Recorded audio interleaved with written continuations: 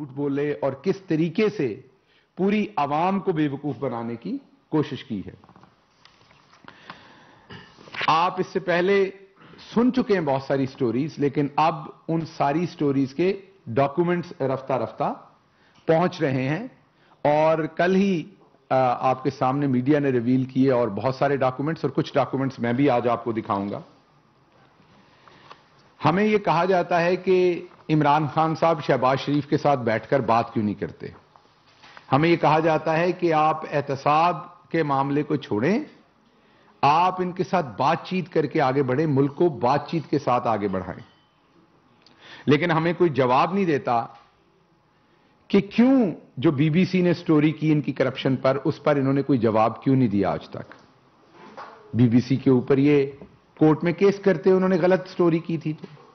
Wall street ने अगर इनकी करप्शन के ऊपर स्टोरी की है तो ये उस पर इन्होंने ना कोई उन्हें हरजाने का नोटिस भेजा, ना जवाब दिया।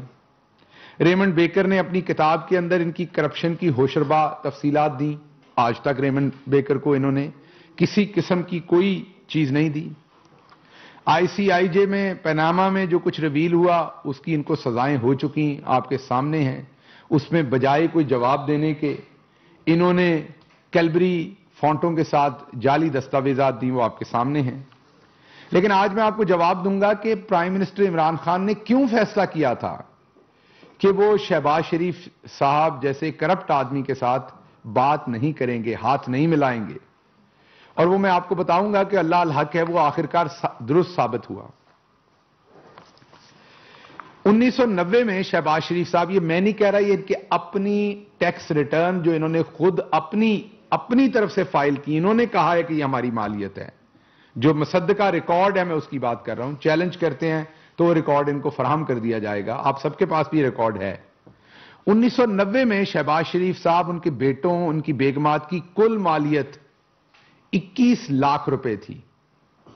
अब जो पाकिस्तान के शहरी हैं, जिनकी मालियत 1990 में 21 लाख रुपए थी, वो तमाम अब गौर से सुन लें। कि उनके पास भी, फिर उनके चपड़ासियों के पास क्या चार चार अरब रुपया है आज? तो जिनकी 21 लाख टोटल मालियत उनके अपने मुताबिक थी, उन्नीस सौ अट्ठानवे में उसी खानदान के मुताबिक उनके टैक्स रिटर्न जो उन्होंने फ़ाइल किए हुए हैं, जो उन्होंने क्लेम किया हुआ है कि हमारे पास इतना पैसा है, वो एक करोड़ अड़तालीस लाख रुपया उन्नीस सौ अट्ठानवे में इनकी टोटल मालियत थी, टोटल इनकी जो इनके पास सरमाया था वो था। और ये सिर्फ़ शहबाज शरीफ नहीं, उनके बेटे, उनकी बेगमात पूरा पूरे घराने की बात कर रहा हूँ उसके बाद 2018 में ये एक एक बंदे के पास सात सात आठ आठ अरब की प्रॉपर्टी आ गई, जो इनकी अपनी कहे हुए पैसे हैं। हम नहीं कह रहे। और अब जो डॉक्यूमेंट सामने आ रहे हैं, उसमें तो एक चपड़ासी इनका जो है, जिसकी 9000 तनख्वाह है मलक मकसूद चपड़ासी। अब जब भी शहबाज शरीफ का नाम याद आए आपको, शक्ल आए टेलीविज़न पे तो मुझे बिल्कुल मैंने सारी ज़िंदगी यही चीज़ें पढ़ाई हुई हैं यूनिवर्सिटियों में तो मुझे बिल्कुल पता है कि अब जब यही चीज़ें पढ़ाई हुई हैं यूनिवर्सिटियों में तो मुझे बिल्कुल पता है कि अब जब शहबाज शरीफ का चेहरा आएगा तो उनका नाम तो मियाँ मोहम्मद शहबाज शरीफ है, लेकिन देखने वाले को जो नाम याद आएगा, वो मलक मकसूद चपड़ासी आएगा। और जब तक वो नहीं आएगा और जब तक इसके ऊपर हमारी अदालतें फैसले नहीं करेंगी और बार बार इनको तारीखें दी जाएँगी, कभी ये किराए की अब पिछली दफ़ा लाहौर में ये अपनी गाड़ी में बैठ के तशरीफ़ लाए, उसकी सीसीटीवी मौजूद है हर जगह, और साथ ये किराए की एंबुलेंस लेके आए पीछे पीछे और अंदर जाके कहा कि मैं तो एंबुलेंस के अंदर लेट के आया हूँ। आप कहते हैं इस तरह के बंदे के साथ इमरान खान हाथ में लाएँ, उनसे बात करें। इमरान खान नहीं करेगा। उसका इमरान खान को जो भी नुकसान फ़ायदा हो, लेकिन इमरान खान ये काम नहीं करेगा। अब आते हैं, जो क्या कह रहा है? ये डॉक्यूमेंट हुकूमत पाकिस्तान का नहीं है। इन्हें लंदन के इलाज पे, लंदन के डॉक्टरों के ऊपर बहुत भरोसा है। पाकिस्तान, मैं जब नवाज़ शरीफ साहब के साथ जेल में मिलने गया था, मेरी दो तीन मुलाकातें हुई थी उनमें एक मुलाकात में जो पाकिस्तानी डॉक्टर्स थे, जब बार बार नवाज़ शरीफ साहब ने उनकी बड़ी तारीफ़ की बाहर के डॉक्टरों की तो फिर एक डॉक्टर साहब थे। दो तो बेचारे शरीफ आदमी थे, नहीं बोले। एक डॉक्टर साहब थे उनकी सेल्फ स्टीम जब हर्ट हुई तो उन्होंने बताया कि जब आपने पिछला प्रोसीजर करवाया था और उन्होंने आपकी एक ऑटरी फाड़ दी थी तो अगर आप पाकिस्तान में कराते तो अल्लाह के हुक्म से वो ना फटती, क्योंकि वहाँ पे डॉक्टर शायद उसने 500 सर्जरियाँ की होती हैं टोटल और यहाँ के डॉक्टर ने शायद 15,000 सर्जरी की होती है। तो क्योंकि यहाँ पर सर्जरीज करने की तादाद डॉक्टर्स की ज़्यादा मीन के डॉक्टर ज़्यादा बार वही अमल करते हैं। और ये पूरी दुनिया में मुसद्दका असूल है। जैसे पायलट्स हैं उनके नंबर ऑफ़ आवर्स गिने जाते हैं। जर्नलिस्ट है उसकी नंबर ऑफ़ स्टोरीज गिनी जाती हैं। इसी तरीके से जो डॉक्टर्स होते हैं उन्होंने कितने ऑपरेशंस असाइनमेंट्स कर रखी हैं, उसकी बेस पे उनकी एक्सपर्टीज या उनकी महारत का जो है, उनका उनका जो रेट होता है सक्सेस का उसकी बेस के ऊपर होता है। तो पाकिस्तानी डॉक्टर्स का रेट तो उनसे कहीं बेहतर है, पाकिस्तानी डॉक्टर तो उनसे कहीं बेहतर है। अदरवाइज़ अगर ऐसा ना हो तो मेरे दोस्त मलिक इमरान या डॉक्टर उमर तूर या जितने भी डॉक्टर हैं अमेरिका के अंदर, पाकिस्तानी यहाँ के पढ़े लिखे हुए, उनको क्यों वो फौरी तौर पर हायर करें? अमेरिका वाले अपने बड़े बड़े हॉस्पिटल्स के अंदर। तो वजह यह है कि पाकिस्तानी डॉक्टर बहुत ही मुस्तनद और बेहतरीन होते हैं पूरी दुनिया में, लेकिन आपको उन पर एतमाद नहीं, आपको एतमाद है जाके बरतानिया के डॉक्टरों पे। तो हम बरतानिया के ही इन्वेस्टिगेटिव इदारे की अब आपको एक पेपर दे रहे हैं जो एनसीए ने दिया, क्योंकि आपको उन पर एतमाद है तो उम्मीद है कि इस पर भी आपको एतमाद होगा। ये क्या कहता है?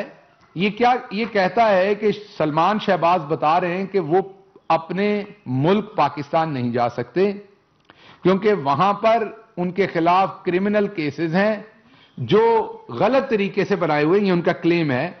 यहाँ जवाब नहीं देना, वहाँ जवाब देते हैं।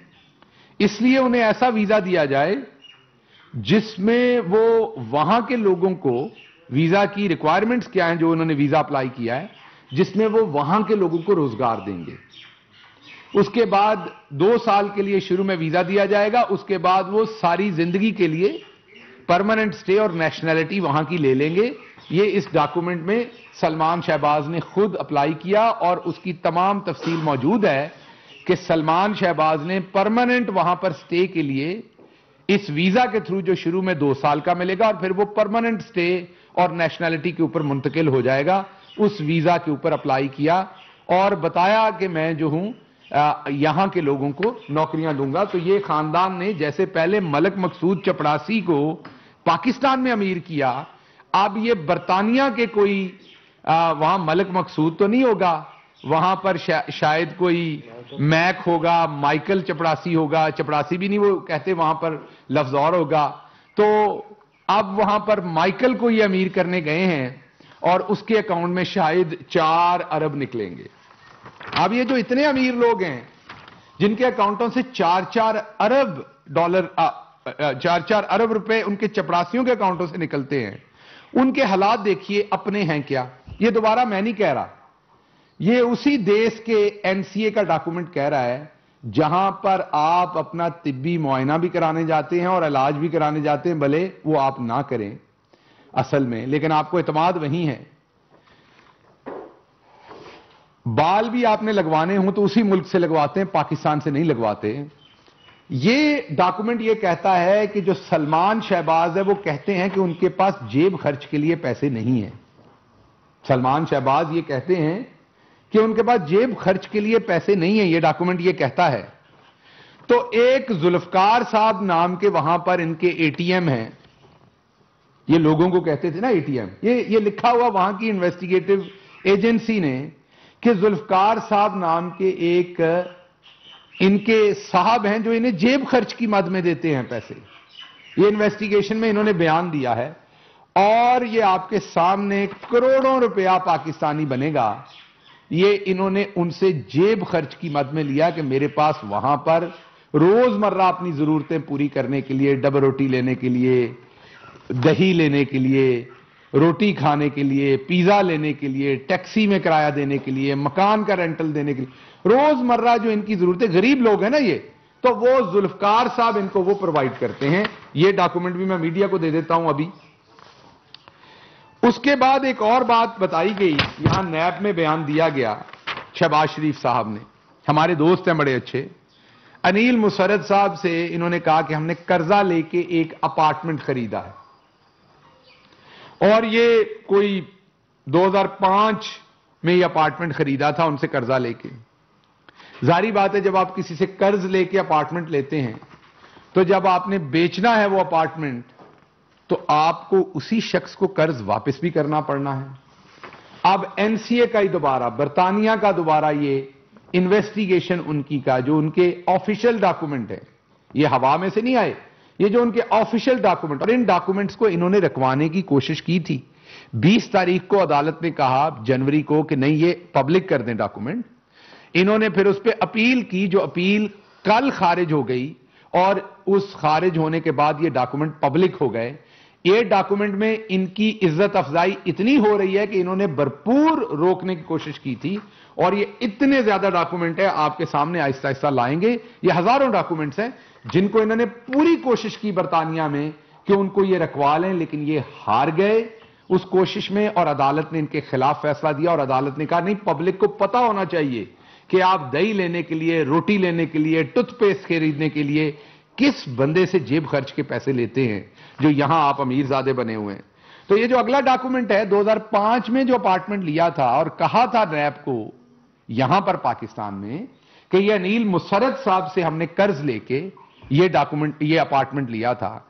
ये एनसीए बताता है बरतानिया का अपनी इन्वेस्टिगेशन में कि जब वो अपार्टमेंट बिका, वो करोड़ों रुपए में अपार्टमेंट बिका, जब वो बिका तो उसका पैसा अनिल मुसरत को नहीं गया वापस। वो पैसा सलमान शहबाज के अकाउंट में गया और आधा आधा करके दो दफ़ा गया। ये तमाम इवन डेट्स लिखी हुई हैं कि पहली दफ़ा उस अपार्टमेंट के जो पैसे थे वो 26 अक्टूबर 2018 को सलमान शहबाज को गए और फिर दूसरी किस्त जो है वो 18 28 जनवरी 28 जनवरी 2019 को गए।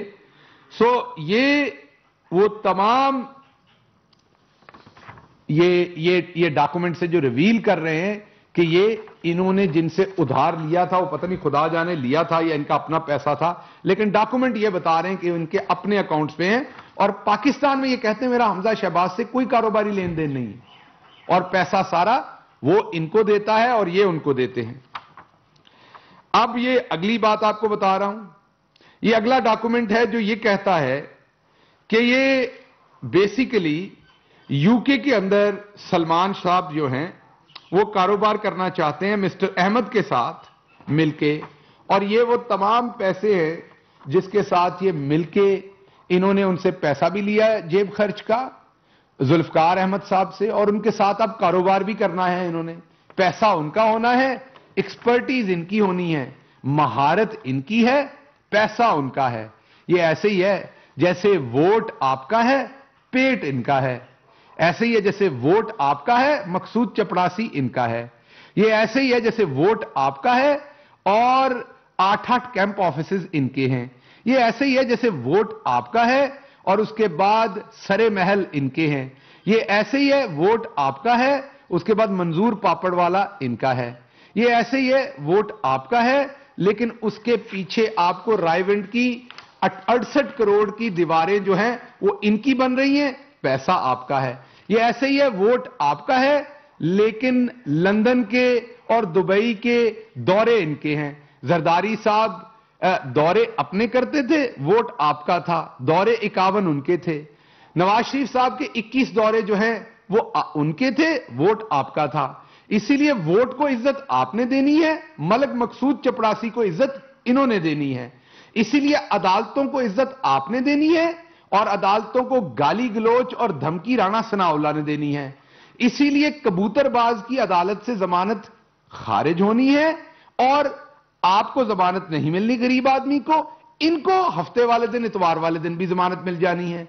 इसलिए यह वो निज़ाम है, जिस निज़ाम को ये प्रोटेक्ट करना चाहते हैं और इस निज़ाम में इनके और मलक मकसूद चपड़ासी के और अरबों रुपए के दरमियान में एक ही शख्स खड़ा है। उसका नाम इमरान खान है। और आप हमें कहते थे कि आप इनके साथ हाथ मिलाएँ, आप इनसे बैठ के बात करें। मुझे बताएँ जो इनका चेहरा है, जो इनकी करतूत है। उसके बाद क्या इमरान खान इनके साथ बैठेंगे? इमरान खान इनके साथ नहीं बैठेंगे। इमरान खान को उसका नुकसान हो या फ़ायदा हो?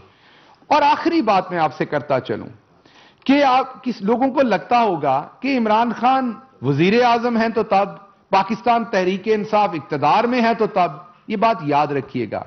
यह जंग शुरू हो चुकी। आवाम को इस बात का पता चल चुका।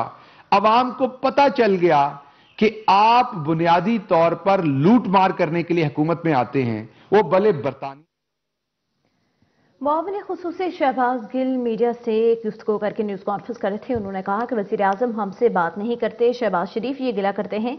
इनकी करप्शन अगर देखनी है तो रेमिन डेविस की किताब पढ़ लें। उन्नीस सौ नब्बे में शहबाज शरीफ की कुल इक्कीस लाख रुपए मालियत थी। इनके चपड़ासी के पास चार चार करोड़ आ गए।